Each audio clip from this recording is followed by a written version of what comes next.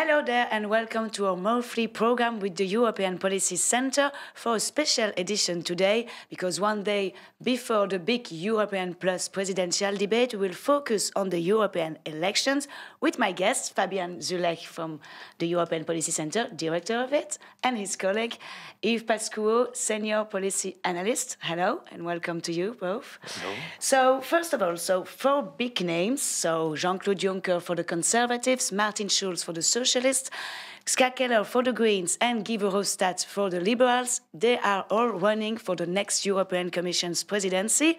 And tomorrow, for the big debate, they will discuss, debate on big issues such as unemployment, energy, but today we will focus on austerity and immigration. So, first of all, Mr. Zuleeg, um, so if the Conservatives, so as the last EU poll showed, the Conservatives are keeping the leader, so do you think that we will have another five years of keeping deficits and debts in check, especially on the southern countries? Well, I think um, the situation is a bit more complicated. Um, the problem is uh, that there will be a lot of extremists uh, in the parliament, a lot of anti EU parties, and that means that no big party um, will be able to do things on their own. So even if the conservatives win, most likely they will have to work together with the socialists. Um, so they have to find some kind of compromise on contentious issues uh, such as austerity.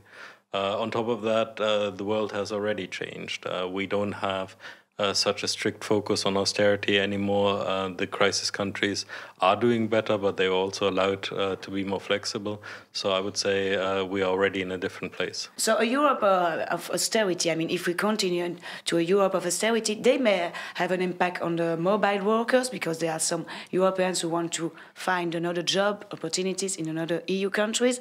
But uh, they still, I mean, Romanian and or Bulgarian for our partners, they still have difficulties to work to another country because they are not in the Schengen area. So, do you think this is a solution? Do you think we have to enlarge the Schengen area? Well, we if have to differentiate here about two things. They have the right to work in another country. The fact that they are not within the Schengen area means that they are still subject to border controls once they are entering the Schengen zone.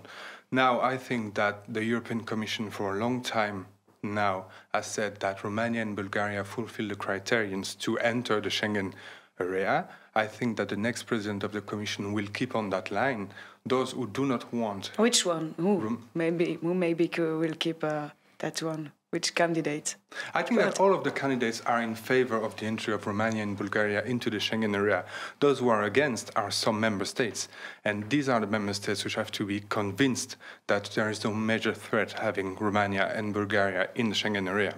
So, because they feel like a second class, I mean, Romanian and Bulgarian, they feel a bit uh, second, I mean, in I Europe. think that to a certain extent they could feel that they are second class citizens as they are fulfilling the criterion, the technical criterion to to come into the Schengen area. These are political reasons which are retaining them outside of this area. Mm. And if we, have a look now on non-Europeans immigration, the Greens they they propose to to see asylum seekers being able to choose in which country they, they want to, to go. Do you think this is possible? This is this a solution?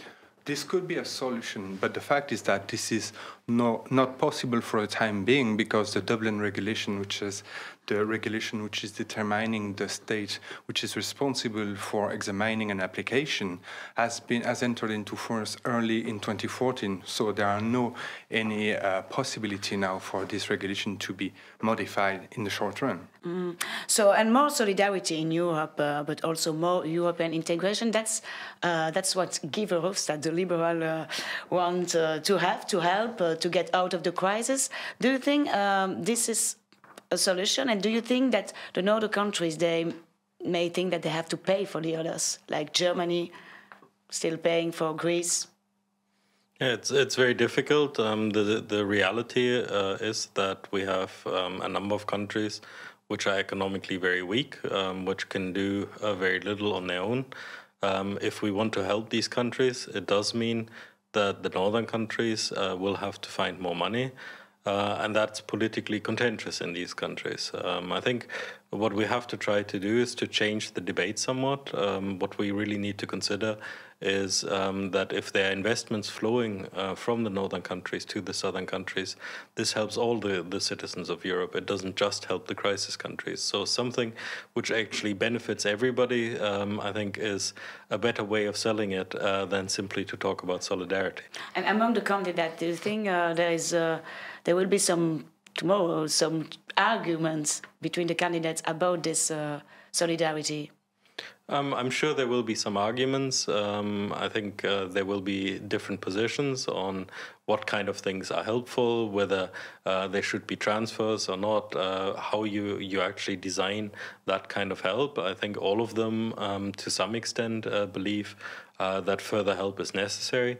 Um, but the clear issue here is not uh, between the candidates; it's the question of what the member states allow. Um, will the northern northern uh, European countries uh, really be willing um, to consider further support mechanisms? Are they willing um, to build a better governance, uh, which uh, equally applies to them as to the southern uh, Europeans? I think that's the big question. Yep. Um, and here um, the candidates can do very little unless they are being supported uh, in the national capitals. Yeah, because we see all the rise of national extremism. I mean, rising. So the, it's may seen that Europe is getting and getting close. I mean, they mm-hmm. close the door, the burdens, they close the door. So we tend to be less um, sol- solidar than before, less open than before. Do you think? Yeah.